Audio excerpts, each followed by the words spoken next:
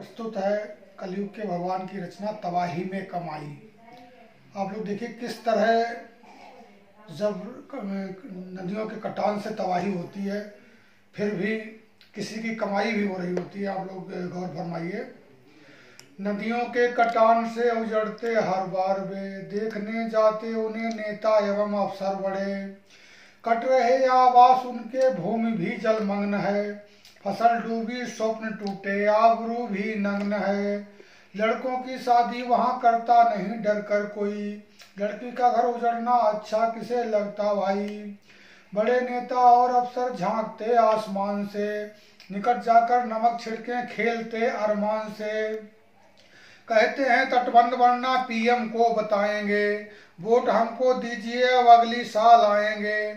मिल रही राहत जो थोड़ी समझ लो प्रसाद गो। फ़ोटो खिंचवाया नदी पर, चेहरा रखना याद गो।